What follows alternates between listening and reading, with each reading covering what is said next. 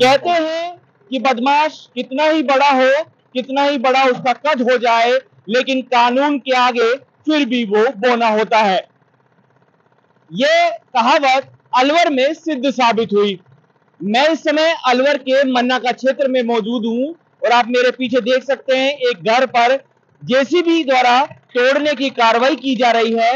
ये घर यहाँ के हिस्ट्री शीटर बदमाश फिरोज खान का है, जो 22 जून को पुलिस के चंगुल से फरार हो गया था। पुलिस उसको गिरफ़्तार करने पहुँची थी, लेकिन इसी दौरान उसके परिजनों ने और ग्रामीण क्षेत्र के जो लोग हैं, पुलिस पर उन्होंने हमला कर दिया। ऐसे में तीन पुलिसकर्मी घायल हो गए थे और पुलिस की कई गाड़ियाँ क्षतिग्रस्त हो गई। जिसके बाद पुलिस टीम हरकत में आई और उसके बाद आप हश्र देख रहे हैं, सबके सामने हैं। आज करीब छह से ज़्यादा थानों की पुलिस टीम यहाँ पहुँची और सौ से ज़्यादा पुलिसकर्मी यहाँ मौजूद हैं और सभी की मौजूदगी में ये पूरी कार्रवाई चल रही है।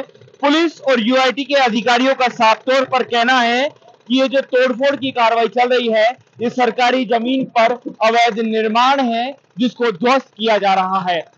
राजस्थान में उत्तर प्रदेश के बाद पहली बार इस तरह की कोई कार्रवाई की गई है और इस कार्रवाई से बदमाशों के हौसले पस्त नज़र आ रहे हैं। ऐसे में प्रशासन सख्त है तो एक बार मैं यहाँ का माहौल दिखाना चाहूँगा। ये पूरा क्षेत्र मन्ना का क्षेत्र कहलाता है। यहाँ पर आप देख सकते हैं, भारी पुलिस बल मौजूद है।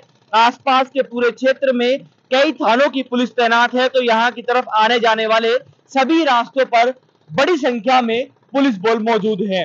इस संबंध में जब पुलिस के अधिकारियों से बातचीत की गई तो उनका साफ़ तौर पर कहना था कि पुलिस द्वारा इस क्षेत्र को चिन्हित किया गया। इस घर के आसपास जो सरकारी ज़मीन पर अवैध निर्माण किया गया, उस निर्माण को चिन्हित किया गया और उसके बाद जो बदमाश था, उसके परिजनों को नोटिस दिए गए। दो नोटिस दिए गए, नोटिस का कोई जवाब नहीं आया और उसके बाद यह कार्रवाई पुलिस द्वारा की गई।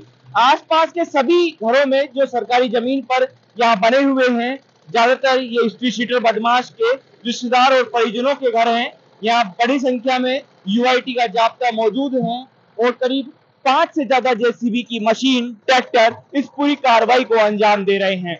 यूआईटी के अधिकारियों का साफ़ तौर पर कहना है कि चाहे वो कोई भी हो, अगर सरकारी ज़मीन पर कोई अतिक्रमण करेगा, निर्माण करेगा तो उसके खिलाफ कार्रवाई की जाएगी।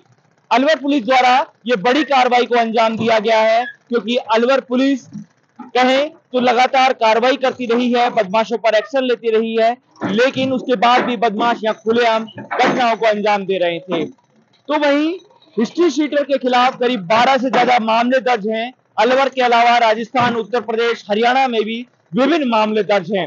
अब पुलिस अन्य मामलों की भी तलाश कर रही है। वह बदमाश को गिरफ़्तार करने के लिए लगातार दबिश दी जा रही है। राजस्थान तक के लिए अलवर से मैं हिमांशु शर्मा।